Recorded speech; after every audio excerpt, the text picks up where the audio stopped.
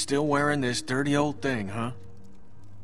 You know, I half expected to see Lee walk up next to you.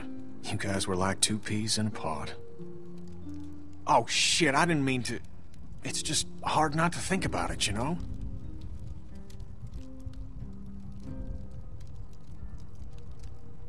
I got him killed. What? It was my fault.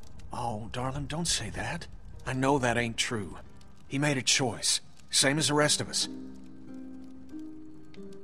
Lee and I had our differences, that's for sure. But when my son, well, he took care of him. I'll never forget that.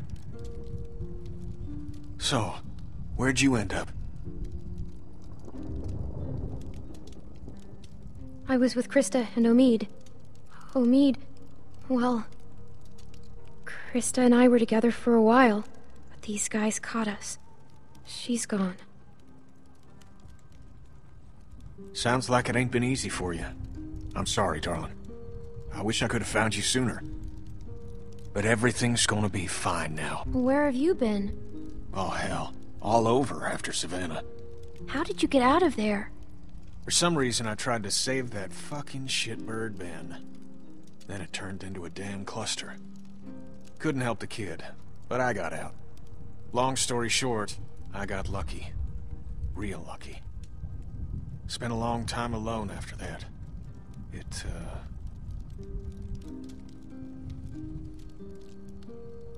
And then I met Sarita, thank God. Gosh, it's great to have you back. You two catching up? Clem, this is my girl, Sarita. Ain't she beautiful? Nice to meet you, Clementine. Hey, Walt, where's Matthew? He's still out there rooting around? Of course he is. Well, I'll start dinner. Carlos, right? Mind if I steal your daughter for a secret mission? Stay in sight, sweetie. Can we do anything to help? Could use a hand outside. We got a lot of supplies to bring in before that storm hits. Sure. Clem, why don't you help Walt with dinner?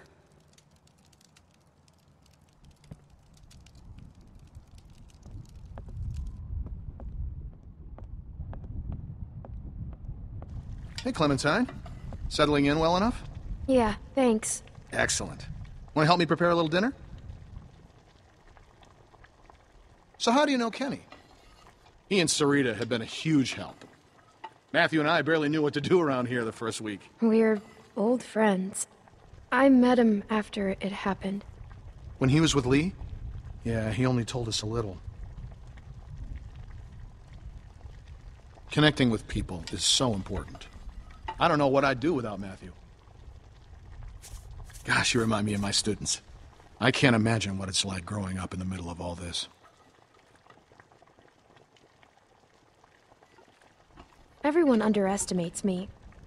I expect you've used that to your advantage. Sometimes. Smart girl.